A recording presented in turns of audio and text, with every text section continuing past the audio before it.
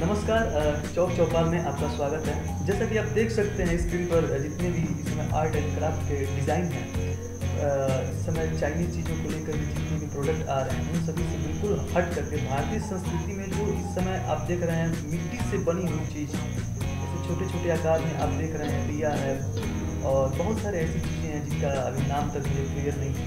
लेकिन भारतीय संस्कृति में मिट्टी को लेकर के जितनी भी कलाकृतियाँ पहले हुआ करती थी वो आज बिल्कुल पूरा खुल करके उभर करके सामने आ रही हैं। और ये जितने भी मूर्ति देख रहे हैं दिया देख रहे हैं और तमाम प्रकार की छोटी छोटी ऐसी चीज़ें जिसका उपयोग आप अपने दैनिक जीवन में और त्योहारों में कर सकते हैं आने वाले दिवाली के त्यौहार में कर सकते हैं। उन सब का बहुत ही ज़बरदस्त संग्रह आपके उत्तर प्रदेश के योगी जी के अ, अ, जो मतलब सांसद सांसद संसदीय क्षेत्र जो है गोरखपुर में वहाँ पर ये सब गोलघर में आकर काफ़ी अच्छे तरीके से सजावट के साथ वहाँ पर प्रस्तुत किया गया है। जिसको आप आकर के यहाँ पर देख सकते हैं ले सकते हैं और जितने भी विदेशी सामान हैं उन सबका एक तरीके से एक बचाव कर सकते हैं अपने अपने पैसे का अपने देश में ही और अपनी संस्कृति में भी रूप करके।